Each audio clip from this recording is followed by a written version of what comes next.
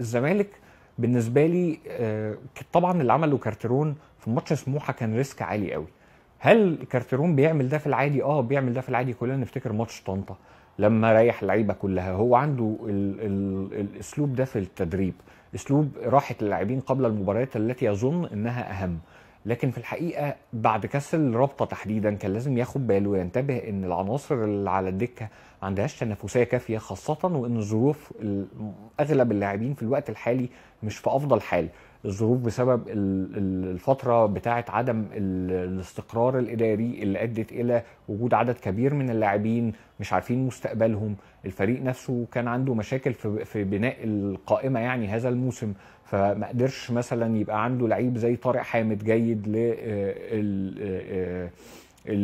استخدامه بشكل أفضل أو استخدامه حين يغيب طارق حامد أو مع طارق حامد إن لزم الأمر.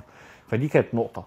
بس في نقطة تانية تكتيكية مهمة قوي بالنسبة لي واضحة على الزمالك مع كارترون في الأسابيع الأخيرة أتمنى إنه ينتبه ليها أو يلاقي لها حل لأنه أكيد منتبه ليها. الحاجة الخاصة بإن الزمالك ابتدى يبقى مفكك الهوية بمعنى إيه؟ إن الزمالك في الفترات الماضية الأولى ليه مع باتريس كارترون كان بيلعب كرة دفاعية وبيعتمد على المرتدات. ده كان الشكل.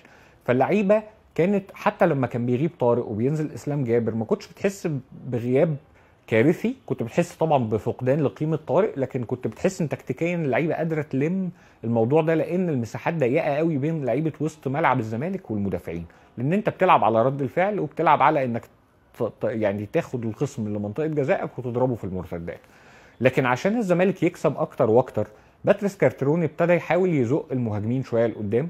وعشان خايف من ال risk لأنه مدرب عقليته في الأصل دفاعية فكان بيطلب من الخط الخلفي ما يتقدمش كتير قوي ورا خط الوسط.